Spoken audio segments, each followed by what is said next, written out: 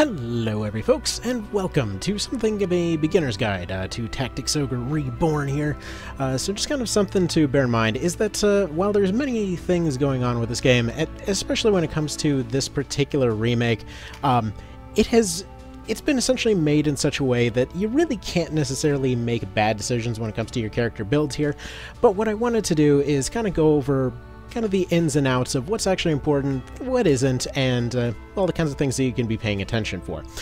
So, with no further ado, let's uh, go ahead and get going. So, first thing that you need to know, we should probably cover what these stats even do. So, there's basically a lot of things that are going to be determining your character. I mean, the, the names are pretty obvious given the classes we'll go over in a bit. The elements essentially will uh, counter each other in different ways, and I actually love that this more or less uh, more or less follows a fairly logical pattern. So uh, essentially, uh, air will beat earth, earth will beat lightning, lightning will beat water, water beats fire, fire beats ice, uh, ice beats air, and then light and dark will both uh, will essentially both counter each other. Now, What's interesting on this, by the way, uh, just one little niche mechanic that uh, doesn't really come up very often, so I figured I'll go ahead and start off with it here. Actually, the more that you use a particular element, uh, the actual tendency of the map uh, tends to favor that particular element. So, if, for example, you wanted to have a little bit of fun and, uh, you know, build your whole team towards a particular element, that's that's totally a thing. I mean, it would open you up to some weaknesses, for sure, um, but uh, it, it's kind of a fun thing to essentially throw down a bunch of thunderstorms and then suddenly realize, oh, you know, all of my lightning damage is improving little by little over time.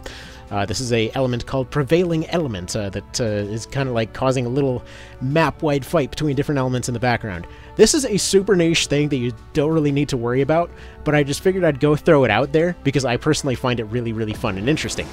So anyway, Let's move on to what the rest of these stats actually do, though. So, if we go over here, uh, your movement range is going to be determined by your class. This is uh, then further modified by your skills. So, for example, a skill like Siege will remove one movement, but let you ignore uh, Rampart Auras, uh, whereas upgrading most of the uh, leg items in the game will improve your movement by one or two.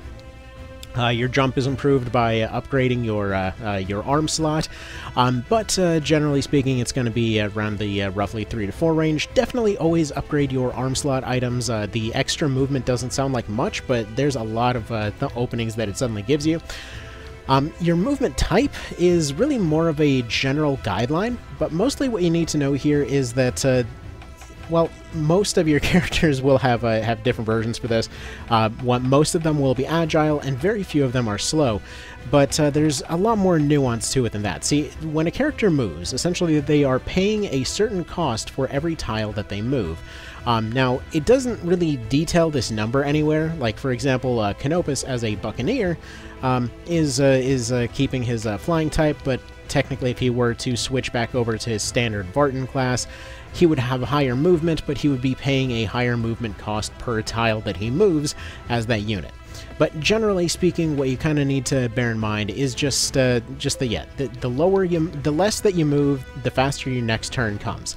Everything that you do is essentially calculated. So you see over here where it says RT plus 28 for that weapon. Like, uh, dual wielding weapons sounds pretty good, but then you also have to realize you're also paying double the movement cost uh, for using that particular weapon twice. But anyway, uh, general rule of thumb is that, yeah, everything that you do is going to be, uh, is going to come with a cost, so every skill that you use comes with a cost, uh, every uh, finisher that you use comes with a cost, every item comes with a cost.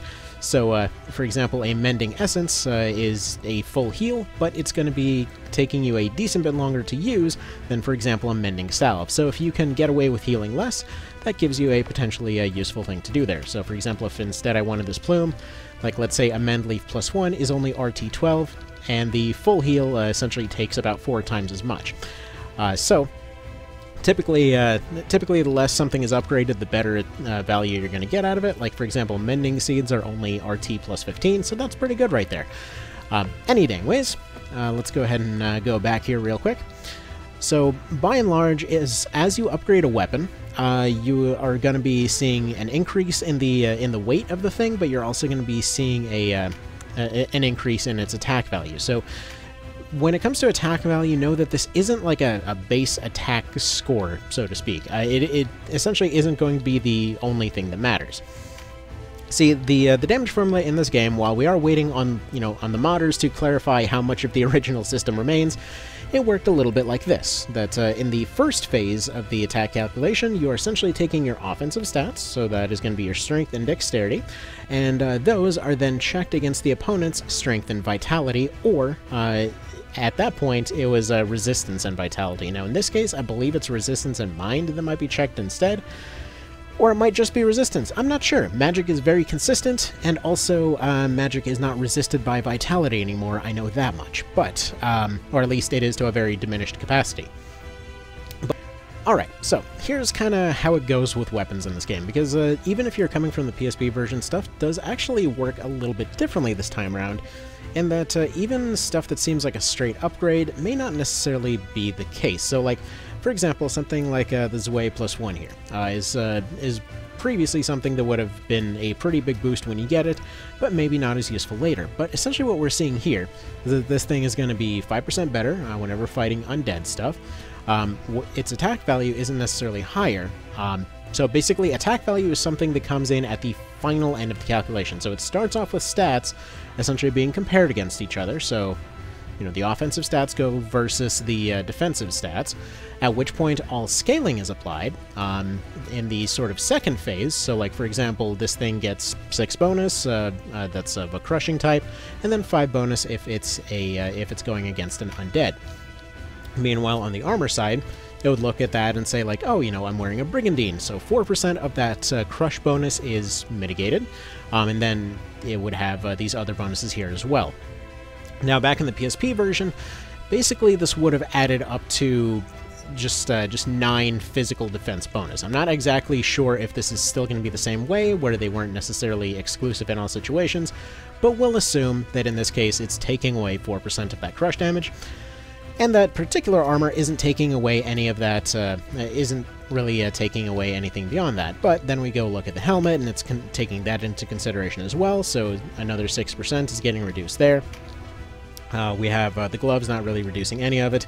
Uh, we have another 3% being reduced by the leggings, and another 1% being reduced by the ring. So essentially, this thing's bonuses, uh, as it is right here, would be entirely mitigated. Um, so it would not be getting any bonuses, um, except for that undead bonus. So, okay, fine, fair enough. But then on the final end, uh, on the final step of the calculation, it compares the attack value versus the defense value, and that's really where this comes in. So essentially, like, let's say whatever number you happen to get off of that first calculation, if it didn't get scaled up anywhere, then the attack value is added to it, and then it goes against the opponent's defense. Now, why am I explaining all this? Because there's no way in hell anyone's going to understand this on the fly. Well, I just want you to understand the general idea that attack value is not necessarily the biggest thing in this version of the game. Essentially, it slightly will increase your final number, and it may potentially uh, help in terms of uh, kind of getting it past uh, the opponent's armor. But just know that if you have a character with high enough stats, they basically can get away with using a uh, using a lighter and potentially trickier weapon with to better effect than, for example, a you know a higher attack value weapon. Just so you're aware. So, for example, if he were to go and go for the uh, the Zweihander right here, uh, he would potentially have a breach uh, a breach on hit, um, but like if we're comparing this with the far later game Damascus Blade here, he is getting he is essentially paying seven less recovery time per swing. Uh, he has uh, two less weight uh, for carrying the thing around, and potentially that uh, three strength and uh, two vitality would be a decent uh, bit more valuable to him than just two vitality and two avoidance. So, like for example, the stat bonus on on this is better. Or for example, going for something like the Bastard Sword here, the two dex and three strength might potentially overall end up giving him more overall damage, potentially, than, uh, than the extra attack value off the sword right here. Now, bear in mind, again, we don't know exactly how all this works, but generally speaking, a good move, like essentially just taking a good move with a good bonus, um, with good speed, is oftentimes going to be more valuable than, you know, something a little bit later. Like, for example, right here, the main reason I'm using this Damascus over here uh, is just due to the fact that it has a stun effect on there.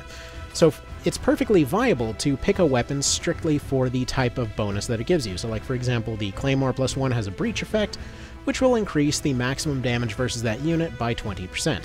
The, uh, the Zweihander plus one has this as well, but the Damascus can stun.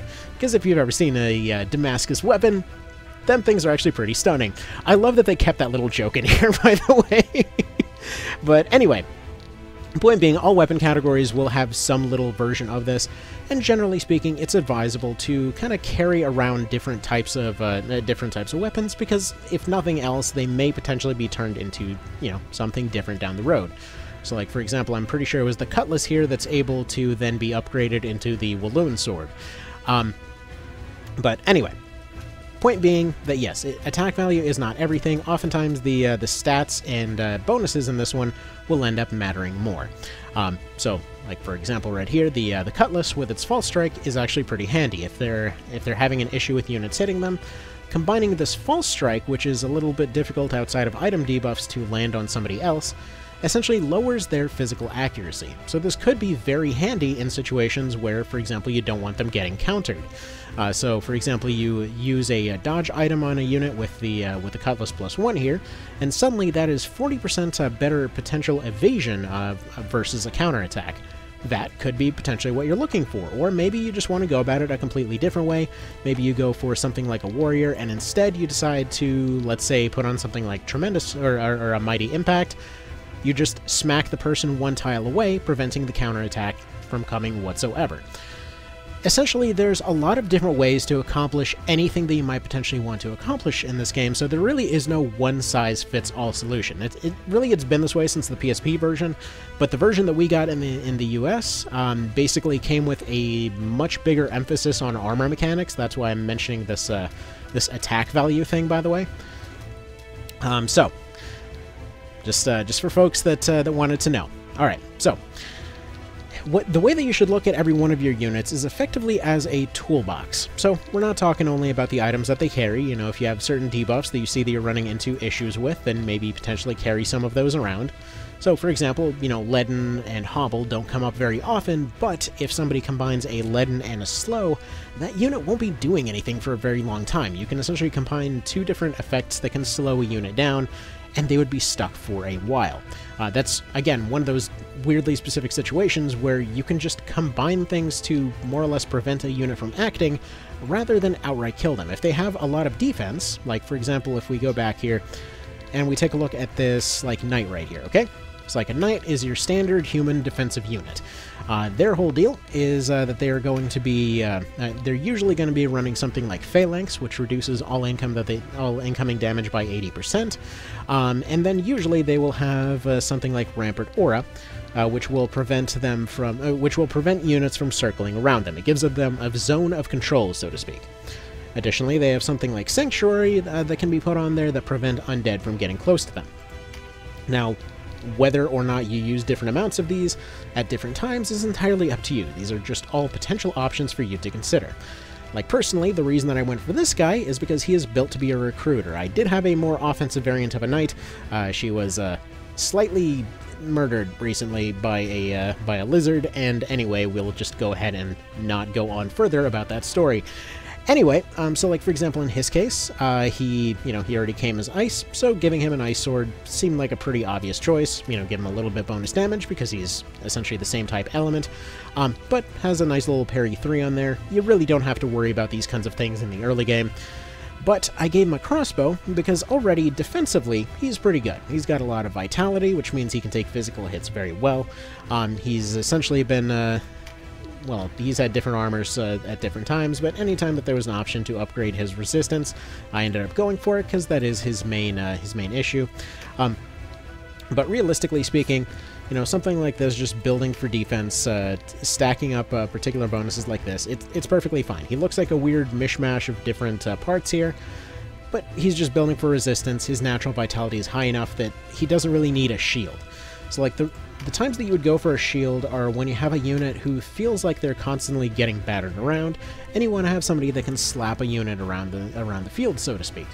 So in this particular case, I have a unit uh, that, uh, well, he's already doing just fine defensively, so I really don't want to put a shield on him. I really, you know, can't be bothered with it. But because he's a recruiter, I want to give him a crossbow, so that a light crossbow specifically, uh, so that uh, he can go and just kind of cherry tap stuff along the way. Um, so he can just go take little little taps on something at range, and then hopefully defend himself without countering at close range with a sword. Um, if he ends up uh, hitting them a bit too hard, you know, heals to make that happen, and then he goes in for the recruit. He's he's a straight recruiter type of setup. But at the same time, like let's say I wanted to build somebody defensive, then I've got, uh, or somebody extremely defensive who's just built a wall. So then we've got uh, Mr. Evan over here. So in his case, he was given a rapier glance, because his idea is that he gets in close, like he takes shots with a shield, but he uses his, uh, or he gets in close with a crossbow, but uh, once he gets in close, he uses the shield to knock units around, and because of the fact that he's very physically built, that shield is going to do a lot of damage for him. Um, additionally, uh, because uh, he's got uh, Rapier Glance over here. It's something the Hoplite gets. Uh, that means it gives him a chance to disable units around him at the start of his turn. Um, evade for uh, making physical attacks bounce off uh, once per time that that triggers, and then Apostate for bouncing off at least two magic effects. So he is effectively just a brick that is slowly slid forward just kind of finding a position to be annoying, and then just taking shots along the way. Now, could this be slotted out for other things? Absolutely. Uh, putting something like Rampart Aura would be very good in this case, because it would be very difficult to dislodge, would be very difficult for enemy units to deal with. Could combine that with a pincer, so that he can be in an annoying position and constantly take pincer attacks, or maybe just give him an extra 300 health off of Constitution. All of these are potentially viable options, but not really something that I needed at the particular time for this team. What I'm trying to get at here is there is no, again, one-size-fits-all solution to everything. While there are a few counters, generally speaking, there's a lot of ways to deal with things. So like, let's scout out what's going on in this next map and see how you would normally prepare. So we see that it's snowing, so this is the Ice Temple. Generally speaking, when it comes to um, when it comes to different locations, uh, you will uh, you'll usually be in a position where you can kind of control what uh, what the uh, prevailing element is in an area by, you know, just using that element over and over and over. In this particular case, though, uh, we're looking at a case where this is a dedicated elemental temple. Uh, this means that uh, th these are locations that you'll run into later in the game, but uh, the it's basically always going to be snowing here. This is always going to be prevailing ice elements because this is literally just like a gigantic place dedicated to ice, so we're not going to be able to overwhelm that. So ice stuff will always have an advantage here. But we're looking around and what do we see? Okay, we see a Fusilier, we see a Gorgon over that direction. Uh, what's the... Uh... By the way, I love the fact that you can use uh, one half of the of the Joy-Con and the mouse. This is... This just feels really good.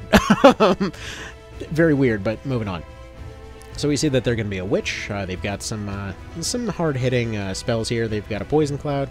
Uh, realistically, they're probably going to be spamming damage at range, so ideally, the way, like, the way that we're looking at this, we want to either outrange that, potentially maybe uh, silence them, um, or maybe, you know, maybe just overwhelm them with some quick units, because we, whenever you have ranged units, generally speaking, you want to overwhelm them before they can become too much of a problem.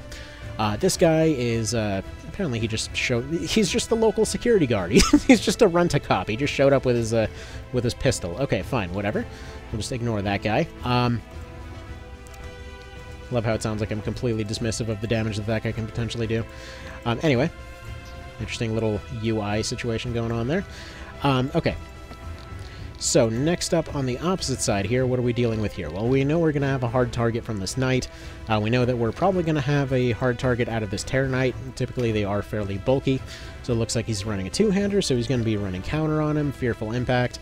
Um, so that means that while he does have his uh, fear debuff with him, uh, he's only going to trigger it if he takes a swing at somebody. So if we can prevent him from swinging, the more the merrier. Uh, doesn't look like he brought his um, his Lament of the Dead, so we don't have to worry about getting close. We just have to worry about uh, rushing the guy down before he can get his big hits off. Okay, fair enough. Uh, so what do we got over here? Uh, next, uh, probably got another Witch, or... Okay, this one's a Warrior here. Looks like uh, they've got uh, Vigorous, they've got Mighty, so we know that parries are probably not going to be very effective. Uh, something like Vigorous will counter parries, something like Mighty will knock units back, but we see that they're building for a lot of pincers so far. Okay, so maybe maybe form up a line. That sounds pretty good. Looks like a similar situation here. Again, these are just fairly basic randos. You really don't need to go this in depth, but just in terms of the overall mindset of like how exactly do you counter this stuff. So this is a fairly standard loadout for a lot of the casters. You get a couple damage spells. Usually you're going to have one missile, one overhead, and then a couple debuffs or utility spells. So in this case, Paralytic and Drain Mind. So Paralytic will occasionally waste a turn. Drain Mind will drain MP. So not anything super threatening there. But we know that realistically we're probably going to get bogged down on this side a little bit, but we want to rush down the left. That's more or less what we want to uh, we want to come to here. Okay. By the way, if you're wondering why I'm showing off mouse and keyboard on this, aside from, you know, this just being fun, um, I like I got a pinched nerve or something in my left arm and it hurts like hell, so I'm just like trying to figure out a control solution so that I can show more stuff here. Uh, anyway, so so we want to rush down the left, so we're going to take some, uh, well, we want one unit for range, so we're going to take a Fusilier here. Actually, let's use units that are going to be available in the early game. So we're going to put a um, an Archer there to rush down. We're going to take a uh, Ninja to uh, silence the caster. Uh, we are going to go ahead and get rid of you, get rid of you. We don't have any monster units, so we're not going to bother with the other one right now. We've got some heavies in front, so we're going to show a little synergy right here, um, wherein uh, we have Denam running a, uh, a Poison Spear, um, and we have Vigorous on this unit uh, with a Poison Claw, meaning that both of these can potentially have a guaranteed chance of poison with a melee attack, which makes them very good can opener units, so to speak. Uh, we don't know if they're going to need some backup, uh, so we can put our Medicine Griffin over here. Bear in mind that any flying unit can potentially be very useful for this. I just call I just call this guy the Medicine Griffin here, but uh, basic general idea is that it's just a flying unit uh, that takes advantage of our preferred element because he's not using anything that scales to his element. Um, but like if he runs into uh, into any water units, for example, he'll end up hurting them more.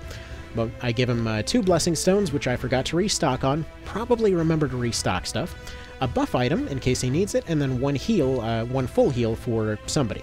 He's got a lot of health, because he's built for health, he's built for stealing health, and he's built for having really high movement and pincer. Um, along with a Ring of Vitality. So generally speaking, Vitality will help in most situations, because while magic damage is very consistent, it's usually not nearly as high as the other types of damage. Um, so, for example, Vitality is generally just a good, solid defensive option. So what I did with this guy is that, uh, yeah, he's got a lot of health, he just keeps himself annoyingly alive, and if worse comes to worse, he can run away, heal, or he can heal somebody else. But this particular unit has constantly saved the team's bacon over and over and over because of how uh, Blessing Stones work in this game. So the way that revives work is essentially uh, when a unit is revived, they are um, they're instantly granted a turn. So for example, you'll notice that many of the units that I have will have a slot for a stone on them. This basically means that if you have one unit, they can then revive another unit, which can then revive another unit, and essentially you can just sort of like chain this all up to get your entire team at once. Granted, they'll be at 10% health, but still, it gives you potentially a good way to make a comeback. You can only do this maybe one or two times per, uh, uh, per battle that you get into, and it's very costly to use, but it is a nice little way to potentially bring yourself back from the brink, so to speak. Alright, anyway, so getting back to what we are trying to do here. So on the left, um, I want a unit that's got a lot of range, so I've got my longbow archer here. I want a unit that can rush down and silence, because my plan is to rush down there, silence, uh, basically uh, get rid of their caster, and uh, and hopefully uh, deal with the other unit at, at the same time. Because the guy's just a guy with a, with a pistol, I'm not too concerned about him. But to give you an idea of what, what you can potentially uh, build here, uh, you've got this guy right here. So he's got three buffs going on with his bow. His Benumb and his Envenom are exclusively going to swap out every now and then. Sometimes he stuns, sometimes he poisons. This is intentional. Um, and then he's also got a Silence on here. So the reason that we're actually uh, going to be combining him... Actually, let's uh, let's swap out for the other archer. So this is actually the, the preferred way to do this. So we take a little uh, little synergy right here, wherein because he's got that bow, there is a chance for him to inflict silence with it. Silence is the debuff that we want. Over here, I have what I what I like to call the skirmisher archer, uh, namely that uh, they specialize in once again having like having a, a, a somewhat short range bow with a dagger. The dagger gives them abil the ability to parry, so they can deflect anything that isn't a gun, um, and then they're able to use Engulf to increase the range of it to be, well, just generally better.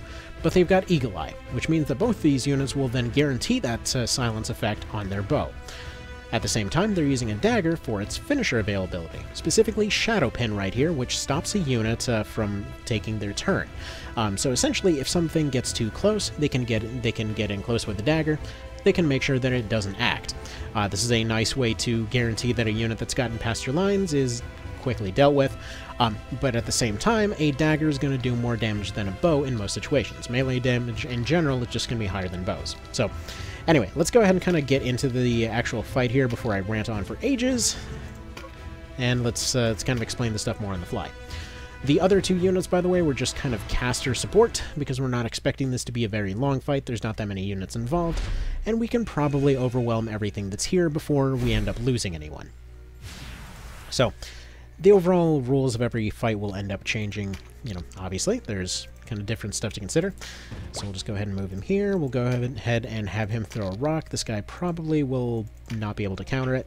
So something like a Cyclops, for example, is very good uh, when it turn when it comes to shutdowns. Um, you can actually get a zombie Cyclops uh, as early as uh, anytime you get into the Phorampa Wildwood. Um, basically, that this will this is something that will uh, that'll come in fairly handy. Uh, essentially, just being a unit that would be able to automatically revive itself if it's ever downed, but being able to be recklessly charged up ahead uh, to uh, to deal with any kind of nonsense they may run into. Um, now, let, let me explain. So, like the Cyclops over there has two abilities. Uh, it's got uh, abilities that allow it to uh, trigger a chance to stun and hobble at the start of its turn. That means that enemy units might potentially not take a turn next round, and also are one uh, are going to be losing one tile of movement. Now, this is this doesn't sound like much to begin with, right? It doesn't sound like anything particularly impressive, but it builds up very quickly, like really, really quickly. So, uh, so anyway, uh, what we're going to actually do is, uh, like I'm noticing right now, and by the way, I'm sorry, I'm still getting used to the uh, kind of mouse and keyboard controls here. Um, but yeah, I was thinking that maybe we might take that path at the top there, but instead we're just going to move over this direction and just kind of uh, end the turn right there. Uh, we're going to have yeah, you're gonna take your engulf and you're gonna move over here. And then hopefully she ends up uh, triggering her eagle eye before they end up getting over to that side. They probably will. Um, they probably won't be within range to take too many hits by the time they get there. You're really not gonna be entirely avoiding damage for the most part. But uh, anyway. Okay, I'm gonna switch over to the other one because it's what I'm used to. So we'll go ahead and move, uh, move you over here. Alright, fair enough. Right, so they're going to take a swing, they're going to take a counter, they got the poison. So really when it comes to heavy units, uh, there's a lot of ways you can deal with them. Sure, you can just uh, set up uh, pincers and multiple attacks and that kind of thing. You can send casters in to go shut them down or just kind of barrage them with damage. Um, really, my personal favorite method is to just lock them in place, prevent them from moving, and just poison them. Poison scales, so it's just a nice way to deal with most stuff. Uh, certain units will resist it, but it is a very convenient uh, way to just sort of deal with many of your problems, um, as long as you're consistent with it. So, uh, for example, like many units will have multiple, or many teams will have multiple clerics, so if they've got that, essentially that means that they would be able to, for example, get rid of two, uh, two instances of poison per round, and clerics tend to be pretty fast, so as long as you keep poisoning more units, it will continuously keep doing more damage. You can do 200 with a hit now, or you can take roughly like 50 to 100% uh, chance rolls with your uh, casters to do that same amount of damage, uh, just multiple times per round. So it's more of a math game as far as that goes. Like right there, they brought counters to the poison, but we can just poison them again. now, the way that I've set this up here, by the way, um, you generally speaking want to make sure that you're taking as few hits as possible. So if you have an opening, you usually want to try and uh, kind of keep it locked down like this, where you uh, you prevent them from circling around the back and letting any of your units get team uh, getting uh, teamed up on. Um, you want to try to prevent that as much as possible. If you're doing the rushdown strategy, then you don't really do that. But if you have areas like right here where you're dealing with a lot of heavies, you don't want to deal with uh, letting the uh, heavies get into your backfield there. Right there, we're just going to use Flaming Fists, uh, which we keep on her to uh, deal with the uh, ice weakness, by the way. Um, but for example, it's best to have several of your units working in teams to accomplish different goals. It's like right here, uh, he, uh, he has Steel Stance, he'll be able to take any incoming hits a little bit better, but his unit behind him has slightly longer range to hopefully allow her to get in close and deal with that caster before any issues happen. Right now, we don't really want to break formation here to do anything particularly special, but ideally we want to uh, get this purple eater, purple people eater guy taking his turn sooner, uh, so that we would be able to uh, see him maybe throwing out some stuns or hobbles to hopefully uh, hopefully break down some of the defenses that we're looking at here. Now, unfortunately, they've uh, they've gone and they've pushed back our line slightly, but that's fine. We can just reestablish it. So, basically, if your first plan doesn't work out, obviously there's always more options to do more plans. You you never just have one plan in mind. It's like right here. Uh, we'll just go ahead and uh, attempt to go for the stop, but the stop didn't work out. That's perfectly fine. Our line on the right isn't completely breached because they're still blocked off uh, by that uh, kind of uh, diagonal. Uh, when she got knocked backwards, she just got knocked to nearby a pillar. Okay, but we see that right here, our first plan is already already in motion. Suddenly, the offensive potential of that unit is entirely shut down. Uh, she'll have to either uh, cure herself or something along those lines. Um, and as we see, we're taking much faster turns with our uh, guy over here, so we'll just uh, quickly throw some rocks, keep on holding that line, um, maybe get rid of some of their units, and uh, start working in a little bit closer. So, uh, we're now in a position where we're like right here, uh, we have a unit that's already poisoned, so we don't need to poison them again. We just want to do a little bit more damage. Um, she's probably going to be countering because she's got that two-hander, and we have a unit that's uh, that's essentially already uh, damaged, so we don't really want them to uh, uh, to potentially risk getting knocked back further. So this is one of those cases where you would just immediately probably want to go for a finisher. So finishers can't be countered. Um, so uh, you just would basically go for that instead. It may cost a little bit more. Um, it may not have any additional effects in some cases, but we don't really need that additional poison effect. We're, uh, we're already golden as far as that goes. Um, like right here, uh, we're going to do something a little bit different, where we're just going to essentially poke and retreat, because if either of these units were to get knocked backwards, we essentially would lose our, uh, our line here, and we could get encircled, so instead we're just going to go here. Now, bear in mind, you don't really lose much um, uh, when you get encircled, but in this case we know that they've got a lot of pincers, so we just generally don't want to risk it. Now, that guy's already poisoned, but we see that we've got a high chance of poison on this guy. She just uh, triggered her concentration. So we'll go ahead and uh, throw out poison right here to just slowly deal with these two while we deal with the lighter units along the way. Now currently we have stun available on our ninja, so this is perfectly fine. We're to go back here and we're to see, okay, we can potentially prevent him from moving later, or we can take slightly more damage with the spell, but for now it feels more appropriate to just go for the stun on him. And there we go. Now he's stunned, there is a roughly 50% chance he just won't be able to act next round. It's not perfectly consistent, but again, this game is entirely about taking those little advantages and stacking them up in your favor. So, okay, well, we see that uh, they're trying to get a little bit closer here. Um, and this is a good example of what I like to uh, call the, uh, the rule of six here. Basically, if there's six tiles and uh, the two tiles opposite each other are available, any ranged attack in most circumstances will be able to hit. This kind of L-shaped maneuver here, um, basically think of a knight uh, from chess, will almost always guarantee a hit. Now, the actual sight lines can vary for many of the other angles, but this one is very consistent and just kind of very easy to uh, quickly internalize here. So now we've set up a situation where just the offensive potential on those units on the left is completely mitigated, meaning that our two light units can overwhelm theirs. Now unfortunately they managed to push past the line here, so hopefully they don't have any turns to push through that, but if that's the case then we'll have to retreat and kind of reform the line, so to speak. Alright, so unfortunately that guy didn't end up missing his round. That's fine, we can still deal with it. But now that we've gotten uh, we've gotten them dealt with, we maybe want to take a few more uh, few more actions here. So currently she's frightened, meaning that her damage is diminished. Um, whenever you're frightened, your uh, damage and defense are diminished pretty significantly. So instead we might want to go for a debuff. So we would look for whoever would act soonest, uh, that would be this one right here. Because if they're poisoned, anytime the poison ticks, it would make the charm go away. So we're going to go ahead and see if maybe their next turn will come before that. And, uh, okay, so far so good. Um, now, she is low on health, but I'm not too concerned. Uh, if she gets knocked unconscious, that's perfectly fine. We'll be able to wrap this up long before it's an issue. So we'll just go ahead and leave that situation as is. Alright, so now we want to get rid of this unit before she can do anything scary. Uh, let's see. What kind of uh, type is she? So she's lightning, so we want to ideally... Well, ideally in this case we'd have rock. We don't have anything rock, but we can go flaming blast here. That's going to do pretty good. Um, this guy is uh, currently... Uh, well, he's a Fusilier. Um, he's the only one on their side that's able to attack anything. I was going for the Charm there because there's a Charm secondary effect on that move right there.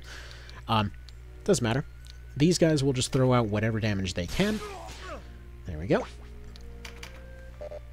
Ah, that's okay. I turned on the wrong the wrong bars here. I apologize. They're uh, they're. Uh, that's why the numbers were seeming a little bit weird there.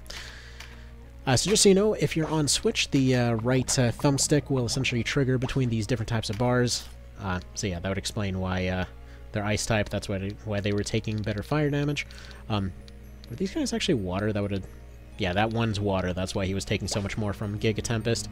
But anyway, so ideally, like we see that uh, we can also go for the stone on her, but ideally we kind of want to deal with this guy.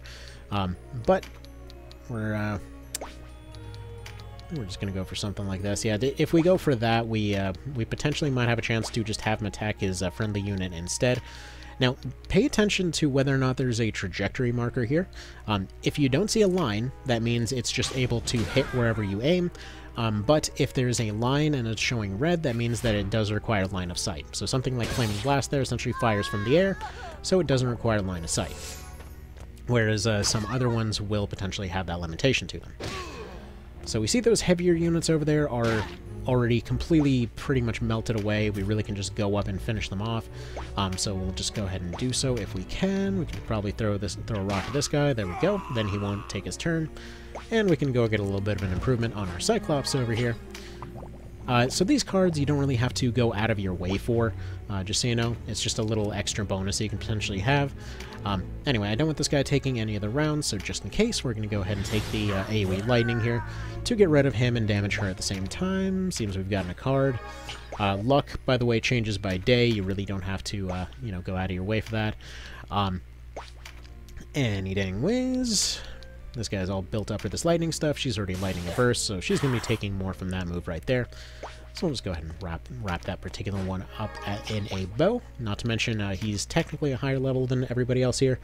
Um, generally speaking, uh, you'll find yourself on roughly the same level as the AI in most situations. Um, but uh, but yeah, currently this is an area that opens up at 36. The stuff here seems to stay at about 36 and uh, I, you know, I went a little bit farther than that and wound up uh, getting to 40, but roughly between 36 and 40, there really isn't a massive difference as far as all that goes. Um, so you really shouldn't focus on levels. They may help in certain cir circumstances, but really just kind of learning to, uh, well, to position your people a little bit better um, will end up giving you far better of a result in the long run. Um, but like right there, that lady would have easily overwhelmed those two if she had the ability to use any of her spells, which she can't. And on the right side, while we may have lost two units, we did ultimately end up winning that fight. Um, now, no incapacitations is a completely different challenge, just so you're aware. The uh, the overall playstyle is far more defensive, but for general purpose type stuff, it's perfectly fine to accept a few losses as long as you can kind of make sure that your units don't bleed out.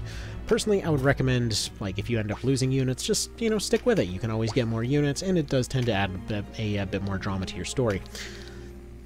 Now, if you're potentially looking to stack up your odds versus the boss, some things that you can bear in mind with your early finishers is that uh, a lot of them will exploit uh, exploit different elemental weaknesses. Um, so, for example, if you have a uh, if you've got a unit that's uh, running uh, running air, uh, you can have have some earth finishers off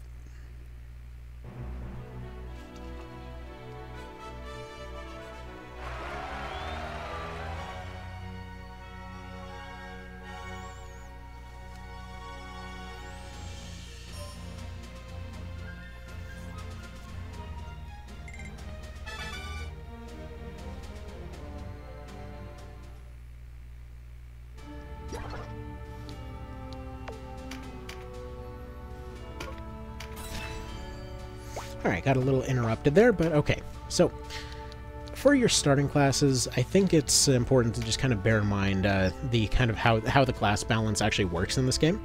Um, so there's a lot of different ones, like this is far from the full list or anything, um, but, uh, but just so you know, there's all of them are really going to be serving more of their own role. While there are technically kind of sort of upgrades, really most of the classes are more of a pivot of a different description. Um, so you don't really have to worry about career paths that much. Like if you have a unit, like let's take for example this uh, shield guy I was talking about earlier. He was a two-hander guy uh, when he first started. He was a, a warrior with two-handers, but I figured, you know, it, it might be fun to play around with hoplite, switched him into crossbows, and within a few fights, like, you really just have a small lag period. Um, but the further a unit is behind, uh, especially in weapon skills and things like that, they'll very quickly end up catching to the rest of their team. Like, he's taking a while here to, uh, uh, to max out his crossbows, like the jump from roughly 37 to 40 it was dramatically longer than his jump from 1 to 30, for example. So it has a very nice feeling, like, whenever a unit's behind, they pick it up fairly quickly. Um, you really don't end up losing too much by having them, you know, go and do that. Like, this lady almost never uses her dagger, and she's doing just fine on actually uh, ranking this up. Um, she's been the, uh, the, the one that I've had since the very start. Meanwhile, this one right here is also the spear unit I've had from the start. Um, but uh, but yeah, just bear in mind that uh, both uh, magic and melee uh, uh, skills do rank up at the same time. So, for example, this guy that I've had right here is like a long-range suppression sniper. You can make some pretty dumb builds work, and they'll work just fine. Like in the PSP version, this guy would have needed to be running Augment Dark and Anatomy and Spellcraft, and he would have had to had to boost himself before the fight. And in this particular case, like, sure, I can give him Spellcraft to make him better at certain things. I don't even know if I have any uh, leftover Spellcrafts right now. But, like, for example, like with these buffs, um, like something like Strengthen would increase your maximum physical by 20%, but something like like uh, Spellcraft would increase your uh, uh, your actual like spell. again, I don't know if it's right to use the term penetration, but basically you could just say that it improves your offensive physical magic, whereas something like spell, uh, or sorry, Spellcraft is the one that ends up improving your uh, uh, your magical damage, whereas Spell Strike would increase its accuracy you might notice that most of the time your physical hits are hitting just fine, and your uh, your uh, uh, debuff or your uh, magical attacks are hitting just fine. But it's really the debuffs that those are there for. So to finish talking about the stats that we didn't finish talking about earlier, generally speaking, yes, uh, strength is both offensive and, and, defensive, just your general like physical uh, physical power there. Vitality is just your ability to take a hit. Uh, dexterity is uh, for accuracy and attack value, as it says as it says there.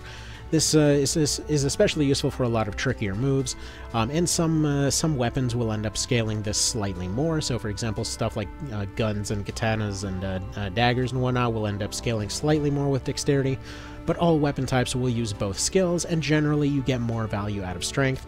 Um, agility is just your general accuracy. Um, avoidance is going to be your ability to just, you know, roll a block uh, against everything. Um, intelligence is your uh, your raw magical power. Mind is your ability for uh, for landing debuffs, um, as well as partially your defense. This is probably the most stacked skill in the game in terms of how much it gives you. Um, but for example, your odds of hitting, like let's say, the uh, the stun effect on this uh, sword over here is determined by his mind versus the other person's mind. Um, this is, at least I believe that's how this still works, because I can't help but notice that the actual odds of this uh, scorpion to hit its poison have dropped off dramatically over the uh, over the course of the game. However, he can still combine it for a 100% uh, chance uh, using the uh, the warrior's passive over here, so or the warrior's automatic vigorous over here. So Either way, there's still ways to make pretty much everything work. Um, but then, yeah, and then resistance is pretty obviously just your magical resistance kind of thing. But again, these are just sort of general ideas. You don't really have to worry about it.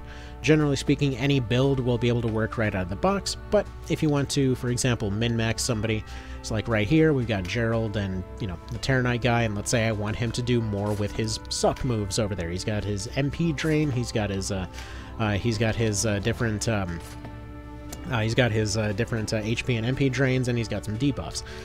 If I wanted him to be better with the debuffs, I would go and try and stack him for Mind, but I want him to do slightly more damage with Drain Heart, slightly more damage with Drain Mind.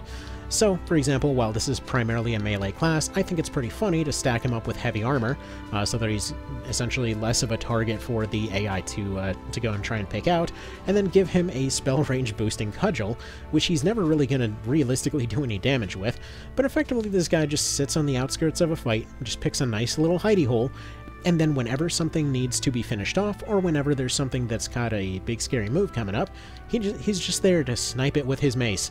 Uh, just essentially take away MP before a big move, and take away some health to go kill something. Um, It sounds very lame, but you know what? All things considered, I'm just really glad that something this dumb still works. I mean, you can pretty much make any old thing work with enough, uh, you know, tweaking and min-maxing, but most stuff will work right out of the gate. Um, so, for example, something like right here, you might think a, uh, a cleric uh, running nothing but this fan would be particularly useful, but the, essentially the fan is classed as a hammer. The hammer gives her access to all these different moves. So if, for example, I were to go and uh, change her into a fire element, which I realistically should, I really don't know why I haven't done that yet. Like, the, the healing is a set amount, but the, uh, the Crimson Reach over here is something that she uses fairly often. Um, so I would go and I would change her into her fire element there, which would mean that she would do more with that move you get these charms regularly enough that you can switch them out pretty regularly. Um, but, you know, the Caldia also comes with a parry. So this basically means that she has a chance to dodge any physical attacks that come her way, again, unless it's a gun. Um, so, essentially, if there's arrows or there's swords or whatever else coming towards this cleric, she can just quickly slap it out of the way, but her healing is extra range because of this stick. Um, so anyway, you can do all kinds of uh, fun little combinations with that. Um, like for example, I found it really fun to uh, to find a uh, higher dexterity uh, uh, berserker here, and just uh, kind of do the whole shield and dagger thing with them. Um, I didn't end up uh, using them for the majority of the game, because, quite frankly, there were just too many builds to potentially screw around with. Um, like, I just kept going and going and going, and the rabbit hole kept going deeper. But, for example, like, let's go for something like this. Like, she's got a parry chance off the dagger, she's got a shield that will give her higher defensive threshold. You know, we probably would deck her out in something like Wormscale or whatever, but we just go for some heavier armor, uh, just anything to stack vitality and strength in her favor. Um, so that'll do just fine right there. Like, for example, uh, keeping something like the basic Bronze Helm is worth it just due to stuff like this. Like, 1% damage reduction for everything across the board doesn't sound like much, but bear in mind that the numbers are way higher. So, for example, if she's hit for 300, that's 3 less damage, which again doesn't sound like much, but it has saved her before. Um, anyway, so for example, something like this, yeah, we would just keep stacking them for any vitality or strength bonuses that we could get. So it seems like Damascus would probably be the ideal thing for her down the road, but we'll get there when we get there. We don't have any extra stuff to continue decking her out like this. But this essentially can combine in with her Berserk uh, to allow her dagger to potentially like mass, uh, you know, mass uh, stun a bunch of units while being fairly lightweight. Uh, whereas, for example, the uh, the heavy two-hander over there uh, weighed 9, this thing only weighs 4.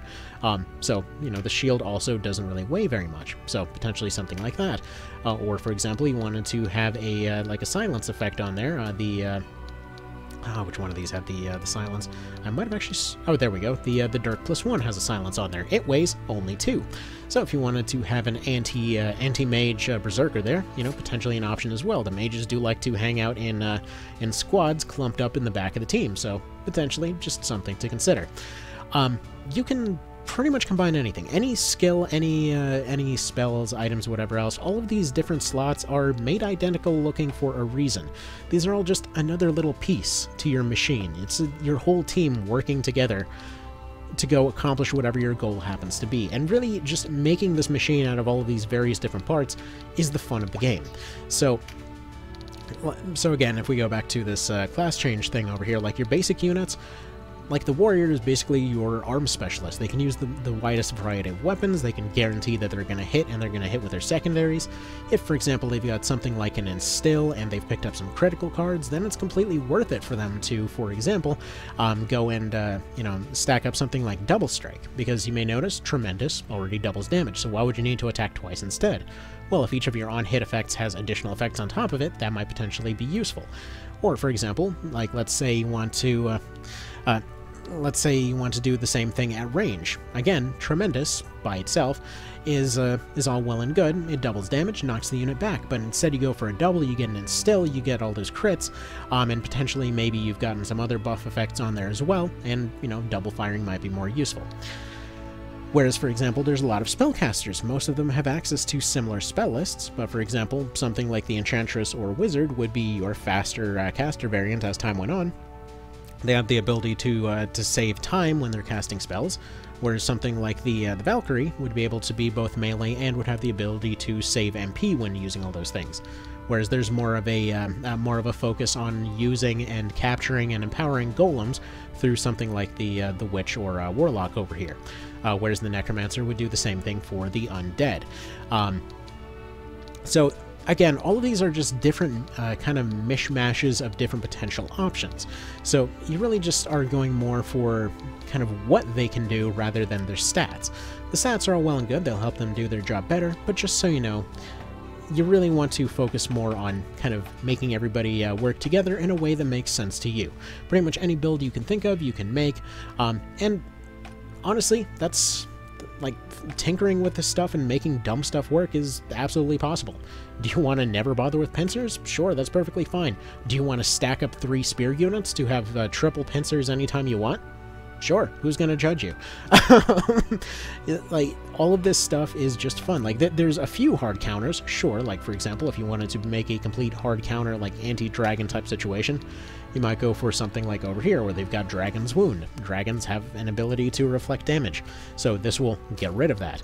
And then you combine something like uh, Dragon Slayer, which will uh, essentially allow them to do dramatically more damage on their own. Um, but then you get something like Dragon's Bane as well, uh, wherein, uh, for example, if a uh, uh if a uh, if a dragon were to be in front of your team, your entire team would be able to hit it a little bit harder. So basically, you'd be able to stack these two on top of another, and suddenly that dragon does not exist anymore. Is that very oddly spe uh, specific? Yes, but that's again what the scout feature is for. You just go in there, and it's like, oh, great, I'm going to be dealing with that kind of unit. Let's quickly slap together a unit, and there we go, done deal. Anyway, so hopefully this was at least somewhat of a uh, useful uh, rambly bit of nonsense. I'll get into more specific stuff as time goes on, but, uh, you know, let me know what you think. Let me know what you'd like to see, and you'll have a good one. Take care.